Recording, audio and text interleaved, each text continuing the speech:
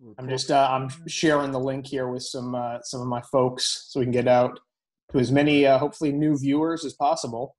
yeah, that'd be great. I appreciate it. Yeah, always, man, always. Matheny. I was saying Matheny. You when did you uh, when did you figure out the correct pronunciation? Well, I listen now? to enough podcasts now that you're introducing yourself. I'm not. It's not Matheny. It's Matheny.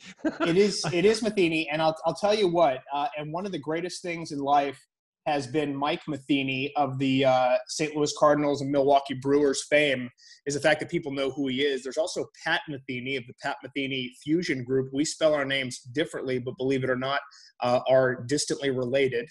Although his musical talent did not rub off on me, but uh, more and more, you know, people are pronouncing it correctly. But I always, I, it does me so proud when people say my name correctly because since I was a kid, they look at what the hell is this? Matheny, Matheny, Matheny. So thank you.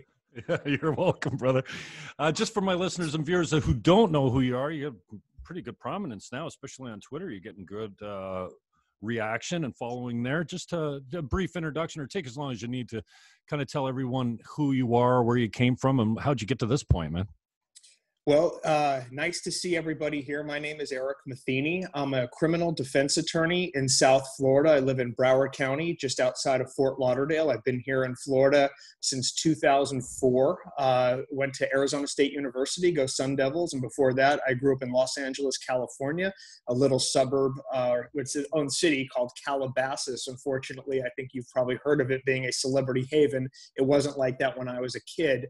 Um, I have a podcast with my co-host and friend Bob Dunlap. We do Bob and Eric Save America, formerly known as Weekly Wrap Up with Bob and Eric. We cover a host of issues, really everything political and, and certainly conservative leaning. Uh, and then just otherwise, you know, we have a you know, nice Twitter following and uh, just trying to get the truth out there and trying to win hearts and minds. And what what do you find that you're working hardest on as far as topics? One of my favorite questions, you can answer this now or later, um, usually permeates most of the conversation, anyways. And I asked um, Savanah Hernandez this question the other day, and I've asked other people, and she chose to answer it from the standpoint of what do you think the top issues are today? But the way I asked the question is, what do you think the top conversations are that we're having, or having badly, or not having at all? That you think are most important as far as moving forward? I mean, these are some strange times. I want your thoughts on how we come back from the pendulum swinging so far left. I'm a former lefty. I'm a seven or eight time Green Party candidate. So I oh, was wow. never running as a as a candidate that ran to win. I was running to change people's minds on proportional representation. It doesn't work so well in the States, but this idea that in Canada, with five political parties, you can be elected with a majority mandate with you know 37% of the popular vote. So i appreciate your your your take on what do you find the most important issues are today or the conversations that we're having or having badly that we need to really ramp up for the sake of humanity moving forward type of thing. Well, one of the things that we focus on on our show um, is we try to focus more on social commentary and culture because if you focus on the politics, you're not looking at the problem in an aggregate fashion. Politics is downhill from culture. Culture sets the tone for everything, and politics is a reflection of that. So you have to look at questions, you have to look at problems from the standpoint of why are we doing what we're doing culturally? What makes us think the way we're thinking? What is making us act this way? Not just looking at it from political issues. And I come from a political science background. That's what my, my degree is in, uh, undergraduate degree. Uh, and, and, you know, I, I studied all the all of them, uh, including Karl Marx, who you know, unfortunately, we're seeing his theories kind of being interwoven into politics today. But you can't look at it like taxes or look at it at immigration. Look at the culture and look at the issues that are culturally creating the politics, and that's a whole broader conversation. And I think that's where we get to it. We're not in a debate between Trump and Biden. We're in a debate between generally two groups of people who hate each other and can't share the same space. And how did we get that way? It wasn't because of an election. This has been a long time coming. And what's created that animosity? Those are the questions we have to be asking. And so, what do you find yourself drawn to as far as the top issues go? Well, I think we have to look at um, demographic shifts we have to look at cultural shifts we have to look at generational shifts you know i i am kind of in an odd position generationally because i'm uh, on the cusp of gen x and millennial. So i see both. And i see maybe a couple years into my generation maybe into the late 1980s where there was a drastic shift in the way kids were parented uh, and where parenting went from authority figure to i want to be your friend. It went from I want to help you succeed and I want to motivate you to I want to plow every obstacle out of your way. Uh, I saw that. I saw that firsthand. I saw that growing up. And I think maybe, you know, Bill O'Reilly was probably one of the first prominent uh, social commentators to talk about this. And he was talking about it back in the mid 2000s that this, you know, the teenage kids we're giving trophies to now who haven't earned them, this is going to have a problem in the future. And we're seeing that now. Um, one of my dear friends, and she's fantastic on Twitter, Lauren Cooley, who I'm going to be hopefully seeing tomorrow night. Uh, what she has said a couple years ago, she's quite a bit younger than me, and she said, What you're seeing on college campuses right now, and that was about 2013, 2014 with safe spaces and microaggressions. Like, you're going to see this in the mainstream. You're going to see this in the world because these are people that are not learning how to cope and they're not going to graduate and become adults. They are being formed this way. And her prophecy, unfortunately, became true. So I think that we have to look back at how we parent our kids. And you know, you mentioned at the beginning of your show the pendulum swinging back.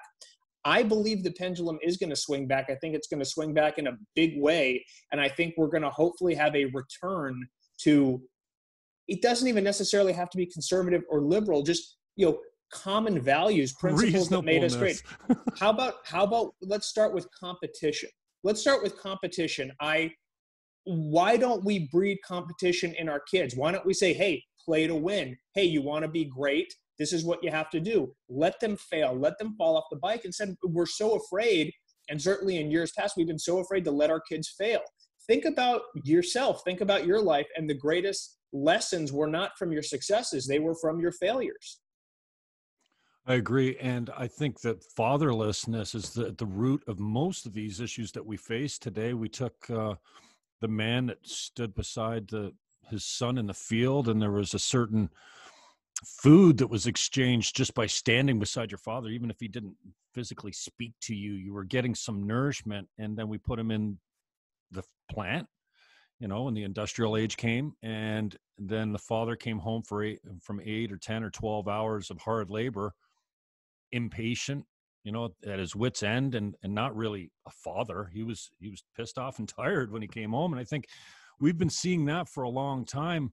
You know, I look at these Antifa punks, and yeah, there's an idea that these kids have never failed. They've never been given discipline. They've never been spanked, uh, you know, disciplined in any manner. I know spanking isn't probably the most acceptable thing for your kids, but we all got it when we were kids. We, uh, hey, I had a healthy fear of my father.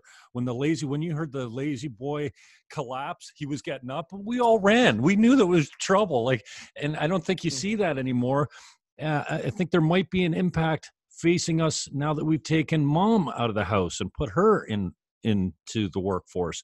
You know, it, it hasn't we haven't had the time to see the impact of it yet, but I think there's a there's a there's a bad impact that's around the corner possibly for that. And eh, so i keep looking back and going you know what? We really created a mess especially in the states in the 60s with welfare with the idea that you want welfare? No problem. You just can't have the father in the house. And now i've heard you mention this many times on your podcast. You know I, have heard upwards of 80% of black families don't have a father in the home well, what the hell do we think is going to happen if you don't have two parents? Like this idea that, you know, and I heard you talk about Black Lives Matter wanting to destroy the nuclear family. Yeah, the socialism, the there's so much undercurrent under what it's not just about black lives. This is about a Marxist theology that they're trying to implement. And um, wow, I, I I don't know how we recover from it, Eric. I really don't see how you can go so far left to the point where boys become can become girls your gender is whatever you think it is and then you say you know politics is down downstream from culture. I totally get that. I agree with you. The idea that politics is actually falling in line to some of these narratives and protecting children you know when they're three years old and they say daddy i want to be a girl. Like if you don't take him immediately to the doctor and begin transition you could lose your kids. Like i just don't see how we swing back from something so extreme in the left? Well, I'm glad you mentioned one thing, and um, you know, a, a race aside, um, the fact of the matter is the the role of the male in society has been diminished, and you can attribute that to feminism. You can attribute that to the left. You can attribute that to all of the movements that diminished the role of the man in the family. Uh, that's been under attack for a long time. That predates my existence, and more and more today, the feminization of the modern man, the beta male, the cuck, the alpha male is seen as a bully and toxic masculinity. Well, guess what? If there weren't toxic masculinity, we would be speaking German right now. Toxic masculinity has saved civilization. So to and I use the phrase toxic tongue in cheek, but toxic. Yeah, it's more in, traditional in masculinity. I think traditional masculinity that men should be men, and I think women in the workforce has been fine, but think about what that did. That took the woman out of the household in the role that God intended, and that is as a mother. Look, men are hunter gatherers, warriors. That is what we were built to do. Women are nurturers and mothers. Now, does that mean women are less than men? Does that mean they can't work, they can't accomplish? Not at all. But there's an order to things. There is a biological, scientific, God ordained order to things that liberalism in the last 50, 60 years has completely unearthed. And it's not working for us. The fact that liberals and, and culture, they're so much better at culture than conservatives are because conservatives, I don't know if it's the Bible, I don't know if it's the whole turn the other cheek thing. I don't know why we are uh, not as assertive or aggressive as we should be. Liberals are very aggressive in the way they get a foothold in culture. They've done it with entertainment. They've done it with big tech and they've done it with education. And what they're masterful at is they can turn the burden onto anybody. And they say, this is the way to think. And if you question it, you're a racist. And you think, well, I don't want to be a racist. Well, I don't want to be a sexist or a bigot. Oh, okay. Well, it's easier to go along with it. I was talking, um, I was on the, the Flock podcast this past week, and we were talking about uh, these companies giving money to BLM. And these aren't contributions. This is shakedown money. This is money that they're given to BLM in, in the event that something should happen and they should be deemed racist. They could come back and go, well, hey, wait a minute, we gave you guys a billion dollars. So it when we talk about politics and culture, the left has done a masterful job at inserting themselves in culture. And conservatives, if we want to take this country back, it's not going to be at the ballot box. We have to take the culture back.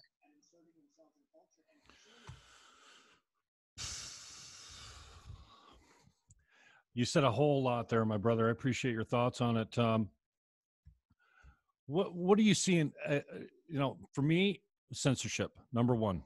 You know, don't screw with my speech.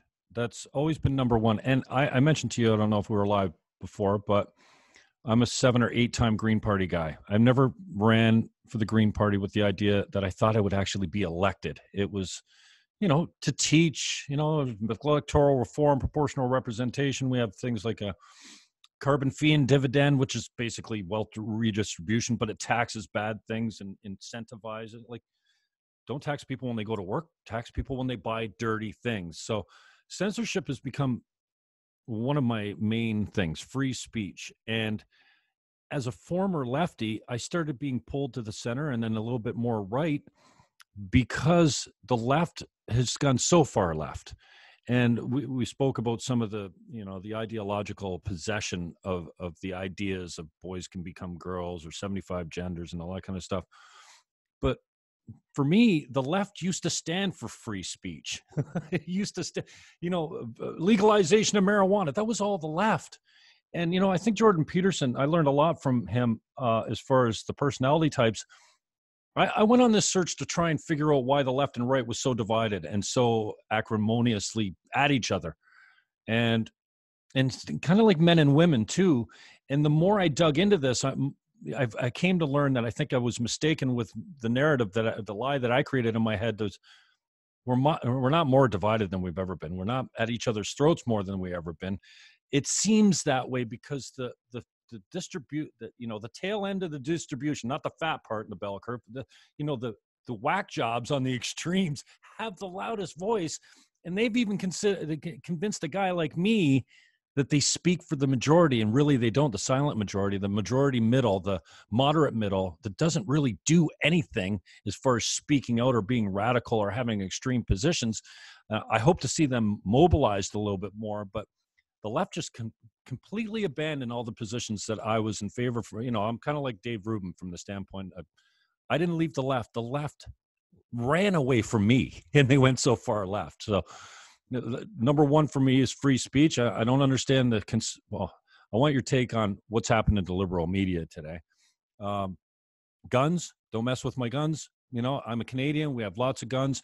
I think most reasonable people will agree. More gun laws don't make for a safer community. And then I think we got a religious question that we need to hash out, whether it's with the Jews or with the Muslims or the Christians or all three of them. Like we, you know, one group can't be you know, wishing for the destruction and actively working for the destruction of all else and think that we're going to get away with it, you know? Well, uh, those are three, you know, primary constitutional tenets: the freedom of speech, the freedom uh, to bear arms, and obviously, you know, freedom of the press, freedom of religion. Uh, and in Canada, obviously, I mean, not quite the same, but but similar. I mean, we're all modeled after the the English uh, system.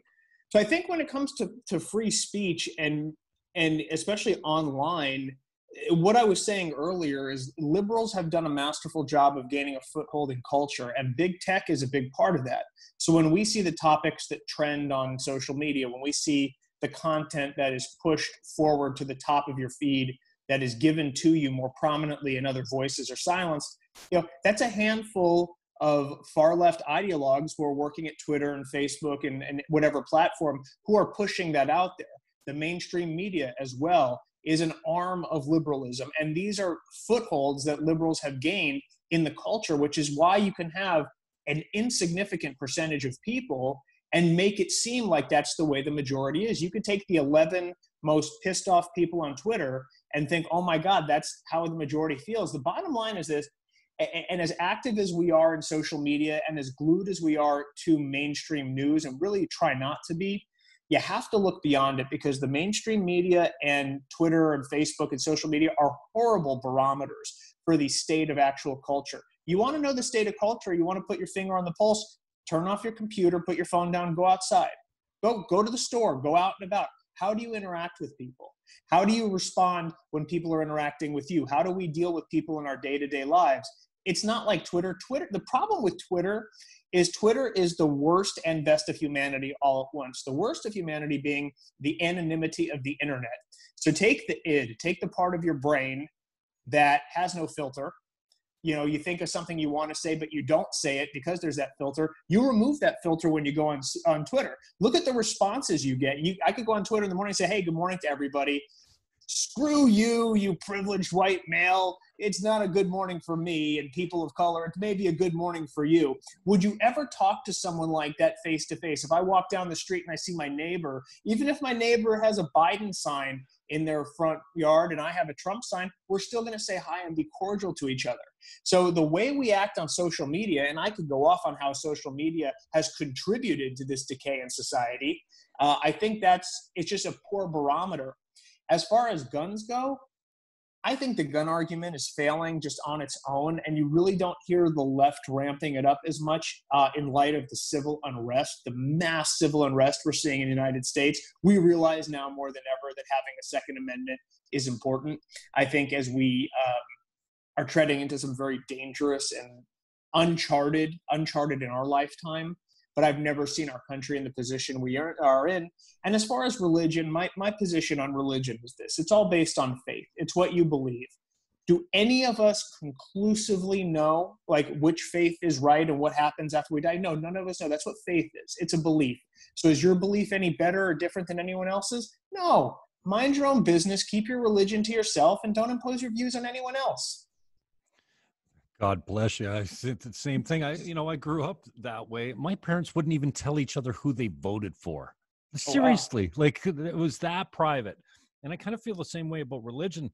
You know, I, I've got a pretty solid religion. I got, you know, my church, and I've grown in faith since over the last 10 years, I would say, since I stopped being Catholic and found a church that was actually cool. You know, I run video director there. It's, I look after the kids. It, it's awesome. But this idea, like, I'm not trying to convert anyone. I, I take people to church because it's, I call it rock and roll pretty church. It's, it's actually fun. It's a good experience. And uh, because I'm so involved in the assisting part of it, I seem to be talking a little bit more of it, but I'm not looking to, you know, make everyone Christian type of thing. So this idea that, you know, you, you keep it to yourself, shut your mouth. Your God is your business. And it, mm-hmm. you know, it doesn't, it doesn't, nobody really cares who you, who you worship. And if they do, I mean, that's somebody you, you should be spending less time with, I think. No, I agree. And I mean, if you really want to be a constitutionalist, you really want to be um, true to the founding fathers and the founding documents. You know, Benjamin Franklin was a proponent of mosques being built in the United States, of Jewish temples being built. George Washington was honored by one of the first Jewish temples in the United States. He wasn't a Jew. Uh, religious freedom is a tenet uh, of what it means to be an American, irrespective of what that religion may be. And religion, look, your your relationship with the God of your choosing and it is the God of your choosing, uh, that's a very deeply personal thing. And you can be part of a religious community and talk to people and anyone who wants to listen. But to put one religion over another, I mean, it's it's so deeply personal. Um, I mean, you look at religion. Religion is uh, organized. Religion has created some of you know it's marked upward mobility of mankind. I mean, people created these inventions because they wanted to be closer to God. They wanted to see the stars, to see heaven. So they invented telescope. I mean, it's really marked the upward surge of humanity, but we've also done terrible things to each other in the name of our chosen gods. So uh, keep it to yourself. I, I think it's a personal thing. And I think we'd have a lot less strife in the world if everyone just, you know, minded their own business. There's something to be said. There's a great comfort in minding your own business. Yeah, that's why they call it personal issues because you keep them to yourself. Brother, yeah. you're you're you're a lawyer, so a criminal defense lawyer, I believe. Yes, sir. Um, uh, how is your how has the cancel culture affected you, if any? Do you find yourself self censoring? We talked about, you know, the filter comes off on Twitter a little bit. Hey, I, I would say a lot more things on Twitter if I could release that filter, but I don't really want to pay the price for it. I've been fired. I've been canceled. I'm, I'm sure there's still more room for me to be canceled further. They could probably cancel my Patreon. I should probably get out there anyways, but my PayPal or what, whatever the, you know, Uber, you know, I haven't been canceled from everything. So there's room for me to go if I continue to, what I just see is speaking truth. Uh, in some cases, it's just my opinion. It's not truth. But a lot of the times, you know, I've cemented my opinions on on facts that I just I won't move from. I'm kind of still on the fence with capital punishment because I used to say, you know what, kill the child rapists, get rid of them. There's no hope for them. Now I'm like, I don't know, man. If if if if another man has the right to take a man's life, I, I, I'm not sure if I believe in that. But I backed away from abortion. I used to, you know, champion my body, my choice. But you know, you know, you know, it only took me a couple. Watched a couple of insightful debates on when does life start? That's pretty simple. And this idea that, you know, I think it was Crowder went into a Planned Parenthood with a hidden camera, and there was a woman there, nine months pregnant, going for an abortion. Now, the, the, the, eh, we've learned later, I think, that he he believes that that woman actually didn't go through with it. She had two two kids already. She was married, and the husband didn't want her to have the abortion. And I was just, how how have we we've we've normalized perversion mm-hmm. basically mm-hmm. you know this yeah. idea that you can you know just being a, a moderate i would say you know let's let's end the abortions after six months we could even probably go to three months i think even the the most radical my body my choice feminist would say yeah no after six months is not cool but you know we've got northam in virginia is it west virginia that you know no, this Vir- idea virginia yeah, saying that, you know, what happens if the baby survives an abortion? Well, we'll keep it comfortable and we'll decide what to do after. What? Like he didn't even he didn't even retract that. This is we've actually normalized perversion to the point where this is we believe that my body my choice right up till crowning is just for me i can't i can't wrap my head around it to touch on your point about uh, normalizing perversion yes yes we have and that again it all boils down to culture. reality TV and social media, that one-two punch has been an that has decayed culture so much uh, that the profound effects of which we are seeing now, and I think we're going to see onto the future. When we showed people, young impressionable people, uh, what you could do, that talent, ability was not necessary to become famous. That all you need to do is be willing to make a fool of yourself or to whore yourself out and to sexualize yourself, whatever it takes. Uh, blame the Kardashian family. I mean, the, there's some blame to be spread all around. I think certainly reality TV, social media, obviously, um, teaching people that affirmation that is needed, you know, what you need to do for attention, that retweets and likes are more important than character and who you are and saying the right thing. And that's where the idea of virtue signaling comes in. And, and certainly with the left, uh, I saw a comic strip the other day that was so telling. It was two guys walking down the street past a homeless man who was holding up a you know, "We'll work for food" sign, and the two guys are looking down at their phones and they're going, "Oh wow, that tweet I did about helping the homeless just got 19,000 retweets." And they're just walking by a homeless person, which they call it they call it slacktivism, mm-hmm. and it's like you know go on Facebook or go on Twitter, hey, we should support this cause, but nobody's actually doing anything for the cause. So I think that's one thing. Normalizing perversion yes, uh, the left has got that strong foothold in culture, and again, they turn it around on us and tell us that we're wrong for not thinking the way we are. Uh, this, you know. Uh, the drag queen story hours and the you know children can choose their gender and if if we had any gumption whatsoever we would have put our foot down a long time ago and said no that's not okay but we the problem is i mean sometimes we play too nice and, and that has worked to our detriment as far as cancel culture goes, like how, has it affected me personally? I'm self-employed, so I mean, who are you going to talk to? Like the boss? You're you're talking to the boss. Um, if I worked for a traditional employer, if I was still a government employee, I, I, certainly wouldn't be out in the open. I used to be a prosecutor. I got out of that racket really quickly because government employment sucks. Um, so I've been working for myself for 11, 12 years you know, every once in a while you'll get some liberal trolls on on Twitter who go like, "Oh, wouldn't it be terrible if the Florida bar found out about what you said?" Like, you know, what are you going to do? Knock on wood, you know, no one's ever come after me too hard. And um, the bottom line is that, like, you know, when you get offline and you talk to people one on one, we have a lot more in common than you think. You sit down and talk to people, even liberals, you know, they'll tell you like, "Oh yeah, you know, partial birth abortion. No, I'm, I'm opposed to that. I think there should be limit, maybe cap it at six months." I've had immigration talks with liberals, and they they agree like, yeah, you know, we shouldn't be letting in all these illegal immigrants. They're taking the jobs away from disenfranchised communities. You just got to get out of the echo chamber. That's the thing. Mm-hmm. Human beings are tribal creatures, and you like when people agree with you because it makes you feel like you're part of a community. That goes back to our caveman days. We're stronger together. We have to have each other to survive. And now we're in a culture of ideas, and people who think the way you do, they're part of your tribe. So uh, social media just reinforces that.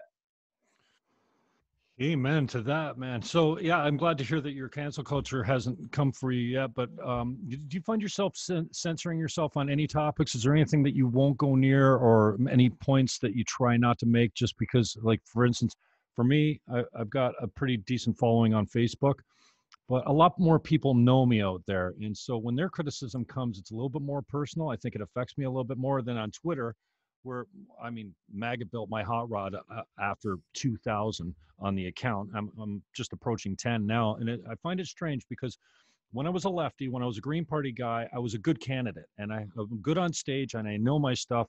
And the other candidates some, often were first timers, so they would come up and they didn't know I'd been there four or five times already and been practicing at this. The left loved me when I was a Green Party guy and the conservatives were respectful. They would take they would go out for beers with me afterwards more so than the left even. And then as i came center right and i you know i've, I've really locked into free speech and guns and abortion as like my key topics the right obviously is pleased. The left wants nothing to do with me. They write they write me dear john notes on the way out of facebook you used to be cool and funny and insightful and intelligent. What happened to you? No, I'm still all those things. I just don't agree with your political ideology. And now I'm a monster. So, uh, this idea that the, tolerant left, man, I've learned a big lesson that your friends aren't your friends when you stop believing what they believe. Uh, I mean, your good friends are with you anyways. They don't care. They, in fact, they won't even. Politics doesn't even come up with your good friends a lot of the times. But this idea, you know, once I moved away from the left, the left pretty much disowned me. Well, you talk about personal. Um, yeah, you know, it, it's it's become personal in in some respects. I've had um, a woman uh, I've known since we were seven years old, went to grade school all the way through college together. Uh, outright called me a white supremacist on Twitter. Uh, I've gotten text messages before from friends like, "Do you really believe what you tweet? It's awful. You're a Nazi." Uh, I've had family members who have disowned me, but um, love a country and and I have I have two young sons. I, I'm I'm not thinking about myself. You know, I'm going to be okay. I'm thinking about my seven and nine year old boys and the world that they're growing up in. And I see them going off to summer camp and wearing masks and like, this is no way to live. So I am going to use whatever ability I have. And if that's brutal, honest truth, if it offends people, then good. The more offensive, the better. I hate no one. There's not a bigoted bone in my body, but I'm going to speak truth. I'm not going to gaslight communities. I'm not going to tell you what you want to hear. The greatest problem in the black community is absentee fatherism. That is it. Hands down, that is the biggest problem. And if that makes me a white privilege, this or that, or a racist, you can call me whatever you want. But I'm going to use my platform and I'm going to use my voice to call it as I see it. Maybe I'm right, maybe I'm wrong. I don't pretend to have all the answers. But self censoring look, I understand we have jobs and we have things to live for. I mean, that's kind of the sick humor of the right is like, we can't be out protesting 60 nights. We got to wake up and go to work. But we have to use our voice. This is a, at, the, at this point in the war, in the culture war, it's a digital battlefield. Now it is transcending that battlefield and it is getting hot in the streets. And I fear it's going to get even hotter. But we have to be able to do that because when you say some i notice you want to talk about reaction on social media. The greatest reactions that i get are when you speak that truth that everybody's afraid to say. You come out and say that thing and then all of a sudden it's like it opens up something and someone like yes oh my god i feel the same way but i'm afraid to say it. That's what we need more of because that's how you inspire other people to do the same. And let me tell you something. We're winning hearts and minds. There there are people out there who are looking to have their minds expanded and to, to walk away from liberalism. Democrats, there are reasonable, honest to goodness Democrats out there who are looking at Antifa, who are looking at BLM, who are looking at socialism, this Trojan horse of socialism that has been wheeled through the gates, and they're going, I didn't sign up for this. I just like unions. My dad was a union guy. Like, well, I, that's what I want. Why am I? I'm not subscribing to this ideology. So walk away from it. And it takes people you know, willing to, you know, I'm not saying I'm being brave or anything, I don't consider it, but just willing to speak truth regardless of the consequences. And if there are consequences, so be it. Uh, uh, maybe I've just reached the point in my life where I no longer care. Maybe I'm mm. just like a like a grumpy old man. I don't know, but I have a, a lot to say, and I'm I'm just not going to be quiet about it. How do you think we come back from the liberalization of the left, uh, the media? I mean, I I was not as in tune to the bias of media. Maybe it was never that bad, or, or maybe I was just a lefty, so it was kind of you know perpetuating my ideology, and I, I didn't really notice it. But since I've come to the center and to the right, I can't even watch CNN anymore. MSNBC, I mean, it's all orange man bad. And I have a hard time believing that any reasonable person can look at this type of news and think it's it's unbiased. And it seems like we've got so far left. I, I wonder what your thoughts are. I mean, we've got one, maybe two, Fox and OAN, or what? Um, yeah. Um, I don't know of anybody else that's doing objective reporting or conservative reporting in, in the news. And I wonder what your thoughts are. Um, can we get it back? Can we get a little bit more centrist or objectivism as far as the media goes? Not from the mainstream media. Uh, we're not going to change the mainstream media. And you mentioned Fox, and even Fox. I mean, they're running Biden ads left and right. And look, it's a numbers game. You know, Biden's willing to spend the money on Fox. They're going to put out whatever uh, is paying the bills. How we combat the mainstream media is by doing exactly what you and I are doing. Citizens, ordinary folks who have something to say, taking to the airwaves, taking to social media, creating a platform. Look, podcasting in 2020 is what a blog was in 2005. It's easy, anyone can do it. That's why you see a rise in podcasts, YouTube, these ordinary folks who have something to say.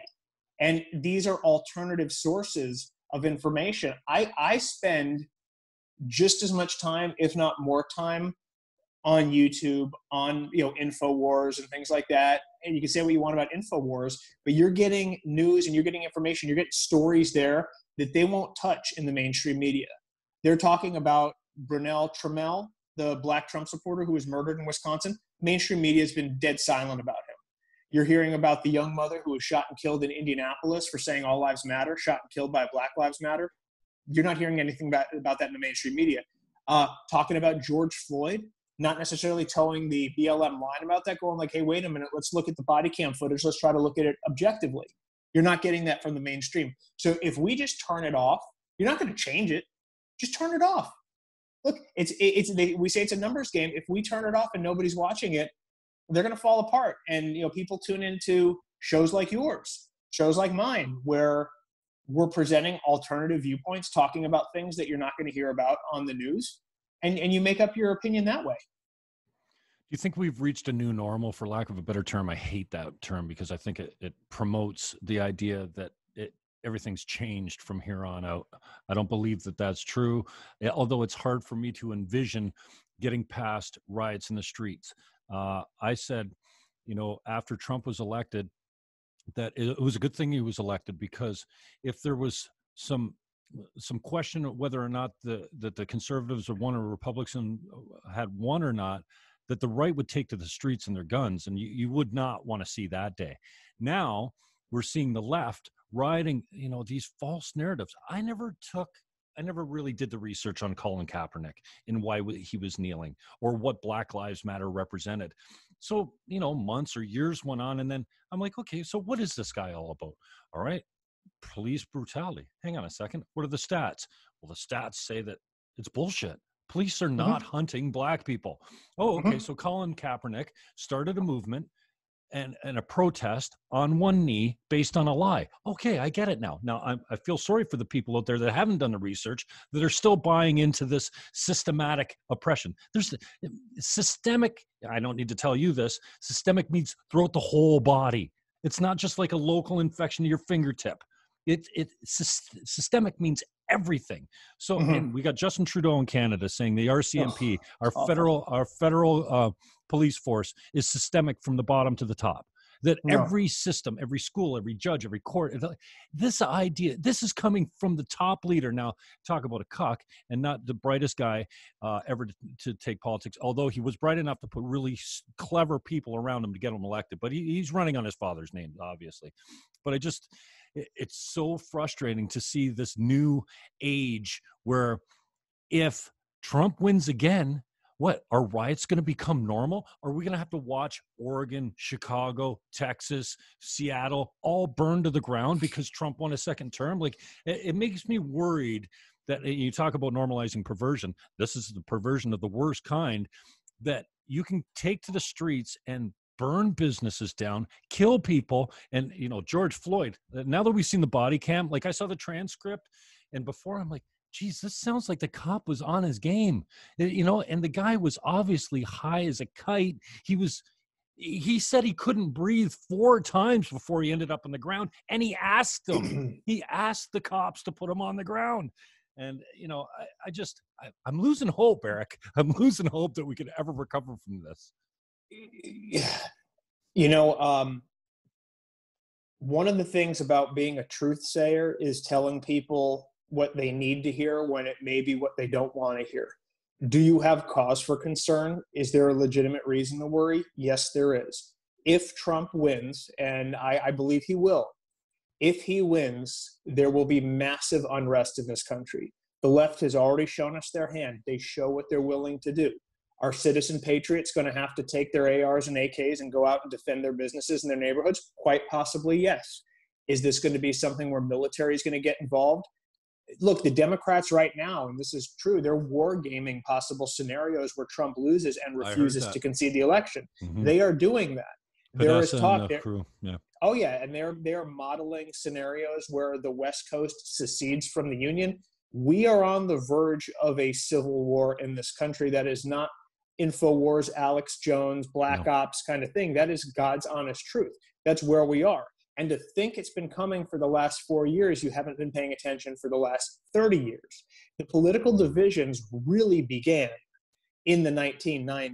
Really began, uh, if you want to take it a little bit sooner in time, probably around the Clinton impeachment. We never recovered from the Clinton impeachment because then we went into Bush. Remember how divided things were then? Remember how vilified you were if you were a Bush supporter? You remember that? And then uh, if you didn't vote for Obama, you were a racist. Um, and then you know this has been coming for a long time. Tea Party movement. We actually have Michael Johns coming on my show tomorrow.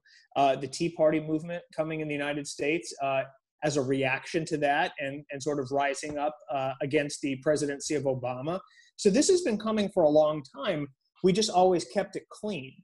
The gloves are off. The Democrats, the globalists, um, and I really can't just say the Democrats. I really say the globalists because I blame George W. Bush just as much as I blame Clinton or Obama for the problems, and certainly Bush Sr. for the problems that we've seen in the United States and, and in the world. So uh, this is really a cultural reckoning, and, and it's very, uh, it's unnerving and it's sad to watch, but it's reality. And if we conservatives just sit back on election night and in the days and weeks to follow and just go, oh dear, they're burning our businesses down, uh, you may have to, you know, lace up and and go defend what's yours. Um, we may come to that because uh, ultimately, you know, you can't call the police because we know they won't come. They can't. Um, you're going to be on your own. So I think it's important to be community minded. You know, know who your neighbors are, know who your friends are, know your entrance and exit points in your neighborhood, and just you know be ready. But uh, yeah, BLM Antifa, if Trump wins, they're going to take to the streets, and hopefully, and, and I'm sure. Look, if, if if I'm a random guy and I could sit here and say it on your show, then certainly they know this in Washington D.C., and I hope that they have measures in place and governors have National Guard ready to go. We know it's going to be it's going to be a bad night because regardless of what happens, you're going to have 50% of this country who's pissed. Now, if Trump, God forbid, Trump loses, are conservatives going to take to the streets? I don't think we would, but I don't think Trump's going to concede the election. Which, in case uh, that happens, then I think the left is going to take to the streets. Mm. Yeah, uh, I look forward to and actually fear the mobilization of the right because I'm not sure that they'd be so understanding. I don't know, uh, but may, maybe that uh, is a bad analogy because I mean, anytime before uh, George Floyd riots hit, the uh, right was mobilizing to you know protest the end of the lockdowns, and Mhm. they they you know they're thousands strong, all loaded and carrying openly, no trouble. And Peaceful. besi- you know, the Antifa doesn't ever. You never see the right showing up to an Antifa protest. We should. protest. We Uh, should. Well, maybe, but it, it, it's the the left. Obviously, you know, we saw with Gavin McInnes the shit that got caused after his stupid little speech at the Mhm. at the Republican Club, and then Antifa went around the barricades and actually ambushed these guys. And four guys, four Proud Boys, are actually doing hard times now. The the, la- the Antifa guys didn't want to press charges. It was the DNC and the you know de Blasio or wh- whoever the controls in in New York City. But and, and I'm, I mean, I'm I'm fond of compar- compar- conspiracy theorists, but I don't I don't put much faith in them.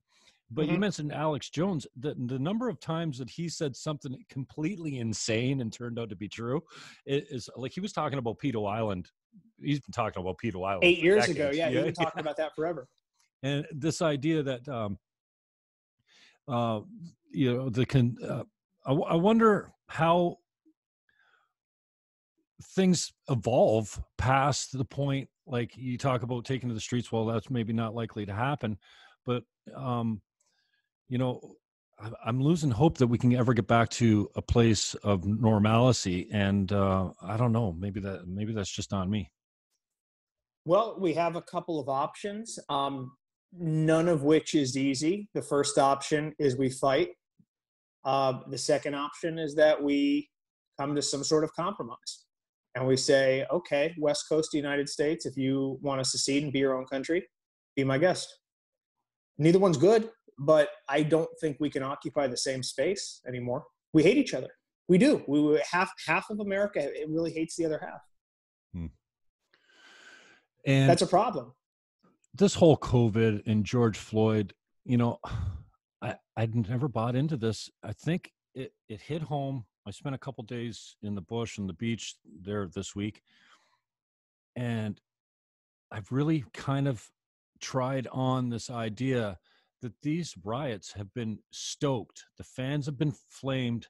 The, the flames have been fanned by media. And yeah. I'm not sure that there was a master game plan in in place where they said, "Oh, okay, let's you know the next unjustified killing will, will give us an excuse to riot or COVID." So now we've had a couple of things, and now I'm I'm actually considering: is this all a play against Trump? I yes. mean, COVID, the shutting down of the economy, the whole China conspiracy. Oh yeah, if we throw it like in the beginning days, I'm like, oh, this is this is right up Trump's alley because he's just standing in the box, batting practice. He's smoking them out of the park. Now the riots, you know, I, I when they occupied Seattle, I'm like, roll the tanks. What roll the tanks? What's the problem? I don't get the whole. I didn't understand completely the state sovereignty issues.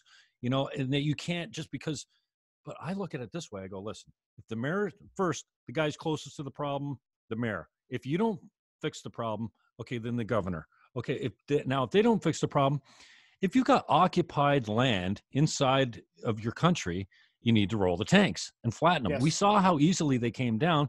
And my MAGA guys on, on Twitter were like, hang on a second. This is the master plan. Trump can't roll the tanks because if he did, it's anarchy, like it's tyranny you're forcing the st- the feds onto the states. Mm-hmm. and I, I didn't really get that. And then they're like oh no. He's letting the left burn down so then when it gets to a point where there's no other recourse trump will come in. But i just i wonder what your thoughts are. This whole rioting combined with the covid and i'm sitting there going geez, is this is the left that masterful at a game plan that this is actually they they're using current events to dethrone Trump? Is that all they've got? Well, it's not just the left; it's the deep state, it's the globalists, it's Soros, it's big money. This has been going on for a long time. Their first effort was RussiaGate, that fell apart. Mueller fell fell apart. The impeachment fell apart. This is just a continuation of what they've been doing for the last four years. Is COVID a real virus? Yes. Does it have an 80% asymptomatic rate? Yes. The 99% of people who get it recover just fine? Yes. Is it being blown up in order to destroy Donald Trump by the left and the media? Absolutely. Was it brought here intentionally? Possibly. I don't think we can count that out. And the riots, were the riots planned? Were the riots uh, seizing on an opportunity? Yeah, that's been in the works for a long time. Follow the money. We know what's happening. Look, Breonna Taylor and Ahmaud Arbery happened right in the middle of the lockdown. You didn't see riots after that. It was for some reason this one incident. It, these are not organic riots. This is BLM money. This is Soros money. These are people being driven in. Look at the arrests. Look at where these people are from. If there's a protest or a riot in Minneapolis, why are 75% of them coming from Wisconsin and surrounding states? They're being bussed in. They are brought there. This is we're witnessing an insurrection. And yeah, should tanks be rolling through? Maybe not. But what about a thousand bikers for Trump or a thousand three percenters? These guys are pussies. These guys are are, are weak. Look at the look at the mugshots. These guys. You get get to get to the heart get to the heart of who these people are. These people are outcasts. These people are unattractive. They're not physically fit. They have no job prospects. These are losers. These are these are textbook losers, the people that your parents warn you about becoming when you don't get good grades in school. You want to grow up and be like that? That's exactly who they are. And they've somehow found their calling. These are angry young white guys. That's who they are. And they're uh, you know pretending to speak on behalf of everybody. But if you follow history, if you watch what they're doing, my God, does it mirror the rise of Nazism? We're kind of like Germany 1929. I mean, you see it. The Nazi, the Nationalist Socialist Party, was a ground up movement. That wasn't just a political party that formed in government, that was a, a grassroots movement that gained momentum. The reason the Democrats won't condemn them, the reason they're denying their existence and saying, oh, they're not riots, they're peaceful protesters, because they like what they're doing. They like what they're doing. They're there. They're, they're the frontline soldiers for the Democrat Party. That's why what's her face walked out of the hearing the other day when Ted Cruz was was calling her out for not condemning them. They support them, and I. Uh, that's why the, the liberal mayors are doing nothing. That's why during the lockdowns, when we had to lock down and destroy our businesses and uproot our lives because of this goddamn Chinese flu, and then all of a sudden rioting comes and like oh well that's a bigger health crisis than covid so we're going to let 10,000 people assemble but you can't go to church that blew the doors off the operation right there we're all wide awake and we i want to say we're not going to stand for it but then again i have to question my words because are we i mean we're pretty damn compliant i mean our forefathers went to war on a 3% tax on sugar and stamps. They oh, these yeah. these colonists, these farmers took up arms against the greatest political and military power of the day, the British Empire, over a 3% tax on sugar and stamps. And here we are watching our rights be trampled upon, the rule of law no longer existing. Now it's mob rule, and we're still compliant. And I think like we really have a strong sense of consequences. I mean, that's the thing. People have to be willing to put it on the line. You know, freedom isn't free, man. And maintaining a constitutional republic is not a spectator sport. You may have to get your hands dirty. Appreciate your time, brother. Just on the way out, what do you think some lessons that the open minded are most likely to learn out of COVID, out of uh, George Floyd riots? I mean, I don't know. I, I, like to think I'm keeping my mind open as far as objectivity goes because I've changed my tune. I'm not 24 anymore. I don't believe the things I used to believe. I think my positions are more cemented now, but I'm still fluid. I think I mentioned capital punishment. Sure. I'm still fluid on a couple. Eh, like I, I, I come from the uh, the standpoint of like I can be sold. Here's what I believe. I'm semi cemented in my position. But if you can convince me, convince me have a mm-hmm. conversation mm-hmm. what do you think you know the moderate middle the ones that you know aren't ideologically possessed either on the left or the right and I, I, find it very interesting now that the liberals are trying to sell that this is white supremacy the, the, these antifa riots are all white supremacist agitators I'm like mm-hmm. there's there's 45 white supremacists in, in in North America, let's say, you can yeah. put them all in an average Starbucks. A lot more Antifa out there than there are white supremacists, I think, right now. But I think it's interesting that all of a sudden, you know, I'm getting these posts. Like, I think it's imaginary. I, I don't think that, oh, like how many people are truly walking around that weren't born 100 years ago going, oh, yeah, kill them black people. You know, it just doesn't happen. But I wonder, doesn't exist. yeah, I wonder what your thoughts are on, on what the lesson for us to learn is coming out of this for any of us that are open enough to stay objective enough to go, oh, well, what do you mean? That's all bullshit. I didn't know that. One lesson you can learn coming out of COVID, the riots, everything going on is your government is not your friend. They're not there to help you. They're not going to save you. And they're not there to solve your problems. You need to take an active role in saving your own life. Personal you need to be armed. You need to have you know, be one thing about the lockdown, and you know, we're all a little guilty of this. Um, when the shit hit the fan, and all of a sudden, um, you know, your your business may close, you, you you can't get the things that you you can. Um, you know, we all turn to the government. You know, paycheck protection, um, emergency disaster loans. I mean, we all turn to the government. People were getting stimulus checks. Uh, even diehard conservatives, everyone kind of put their beliefs on the shelf and went like, "To hell with my ideology. I need to feed my family."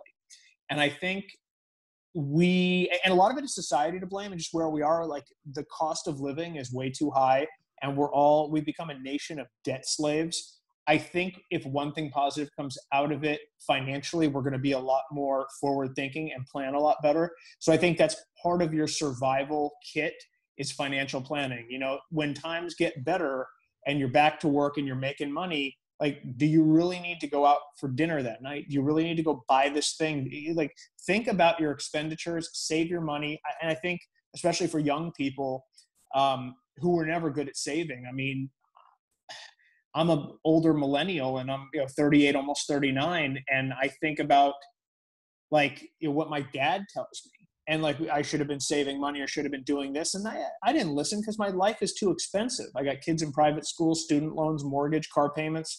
So I think we need to figure out how to adjust. We need to be better financially. but we need to understand that when things happen, and it's not a hypothetical when it's we know that this is real we need to be ready and willing to protect ourselves so don't be a sitting duck don't rely on the government protect yourself be smart because uh, in the end you know they like to say on tv we're all in this together but we're not. Oh, uh, you may be on your own. Yeah. Who are you listening to for uh, comedy or who do you get in your news from? Who are you chummy with these days? Who's in your tight circle? Well okay for for news um, i am a big fan of jeff Dornik, who's one of my colleagues over at freedom first network. We love uh, being over there. We moved over from new right network which was great gave us our start. So check him out um, Mike Yoder, he's got a great show with NRN. He's a great young lawyer. He's got a lot of things co- going on. Uh, big fan of his. On the political stage, uh, my good friend DB Fugate is running for Congress here in Florida's 23rd congressional district, looking to unseat Debbie Wasserman Schultz. So nice. early voting starts on Sunday. Uh, go vote. You have to write him in for whatever reason. He's not on the ballot. You have to write him in. But if he gets enough on the ballot, he wins the primary. It's going to be DB Fugate and Debbie Wasserman Schultz in the general, and I think he's going to win. As far as uh, you know, getting my information, I'm an Infowars guy. I mean, I say what you will about Alex Jones. I'm a huge fan. I watch oh, he's him. wildly I, entertaining. Love Alex I, Jones. His, his episode with Joe Rogan was hysterical. One of the best shows Joe's yeah. ever done.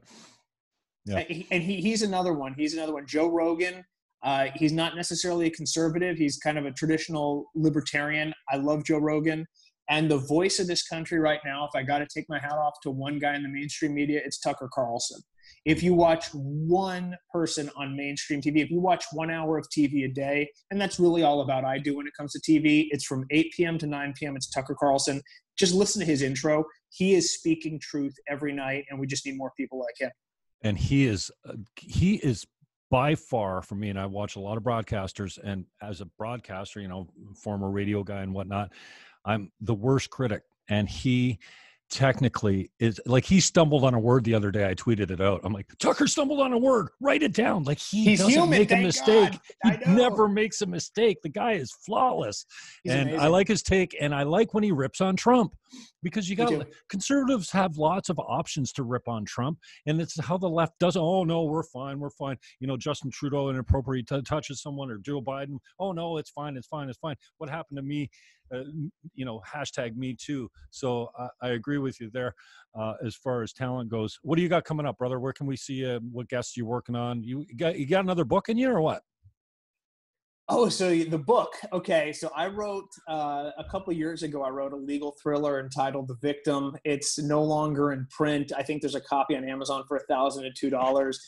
I don't see any of that money. My my contract with the publisher's up. Uh, will I ever get back to it? I think about it every now and then and I talk to a lot of writers. I have a lot of authors on the show. And uh, I had a, a, couple of months ago, I had Ava Armstrong on, who's written like 20 books, and I don't know how she has it in her. She cranks them out all the time. Uh, David Burke is a great writer I've had on. I've had a lot of Cat Turd, our friend Cat Turd. He writes books. He's an amazing writer. So um, I'd love to. I, maybe one day, I don't know. As far as the show goes, we have a show tomorrow streaming at 12 noon. And then obviously, right afterwards, we're on all the podcast formats iTunes, Spotify, Google Podcasts. Tomorrow, we have Michael Johns, founder of the Tea Party, coming on.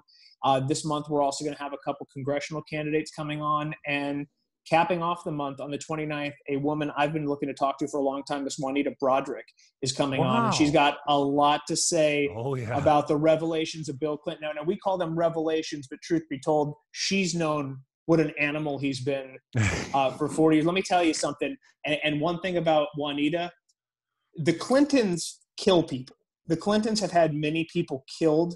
And the fact that Juanita can still have the platform she's had, she walked away from everything relatively unscathed. And she's been threatened by Hillary, and she's been through that. And so we're going to get into that. The 29th of August, 12 noon, tune in because she's going to talk about the good old boy network from the Arkansas days uh, and how Bill Clinton basically had the state troopers as his own personal Gestapo. Um, they are some bad folks, guys. The Clinton family is about as evil as it comes. And uh, God bless Juanita for you know, being safe and being able to emerge from that and be a voice. And even many, many don't listen to her. She's been screaming to high heaven for the last 40 years what an animal this guy is. And uh, even despite Me Too, which I think has kind of died away, uh, people still silence her. So we're looking forward to having her on.